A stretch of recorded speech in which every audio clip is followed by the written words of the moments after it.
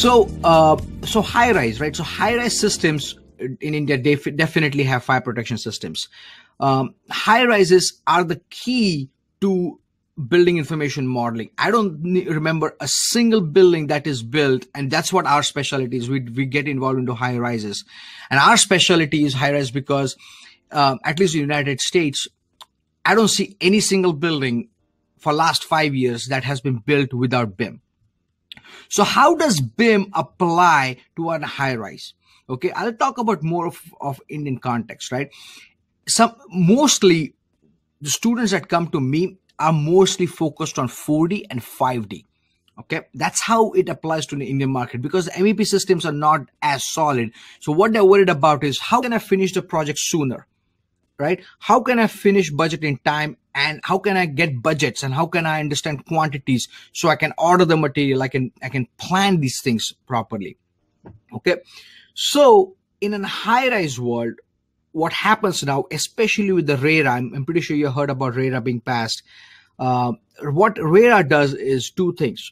Okay, first it focuses on on finishing projects in time.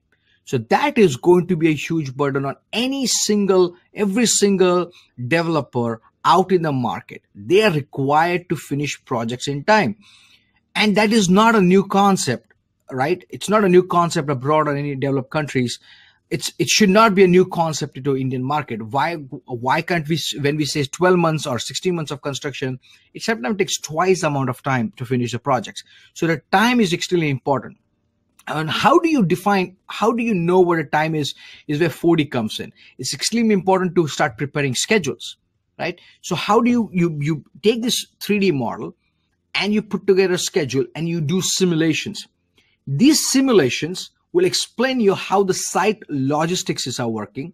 And I'll show you some samples um, that we have. And I think we have some samples on NIBT websites also. This, this, this simulations will tell you how much labor, resources, money is spent through time in a physical 3D environment, which means you saw the building going up, what is being constructed will be in green, what is not, what is, is scheduled to be done will be in blue, and things along those lines. The point is the planning is going to be the key and which has been non-existence in India, right? Which means you have to plan before you execute a project.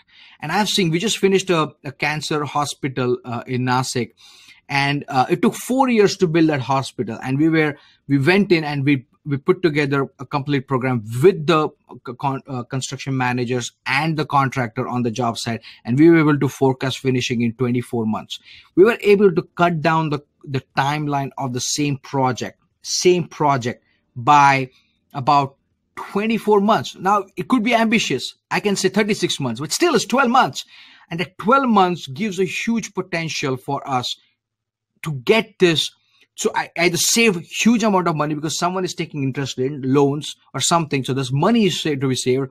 The number two is giving having a project 12 months means means you, the owner gets to start making money earlier.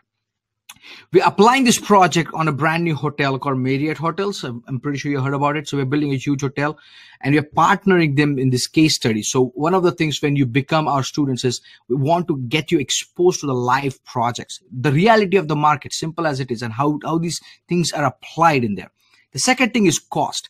When we have these models, uh, we have direct access to BOQs, right? If you, someone is engineering or designing a project, 15 minutes later, he has a detailed quantity takeoff by every single brick, every single concrete masonry unit, blocks, whatever you want to call it, how much of concrete, how much of rebar, everything is designed in the building. So it becomes very easy for quantity takeoff. So you can split a button says this much material I need two months from now, this much material, this much billing. So that's the that's the benefit of a high rise building because it goes fast. It is more productive, right? So I'm not sure, Swapnil, if you have learned the concepts of scheduling. Uh, and scheduling is extremely important before you get into 4D and 5D because without a scheduling, call it Primavera Microsoft project, any software unit, you know, but there are many techniques that you have to learn. There are new techniques that are coming in the market that are called lean processes if you want to google search it understand lean processes there's an institute called lean institute that has come up with lean concept which is which gets into forget about scheduling gets into pull planning and push planning those are the tools that we have will be teaching if we get into the 301's construction management programs that helps you plan better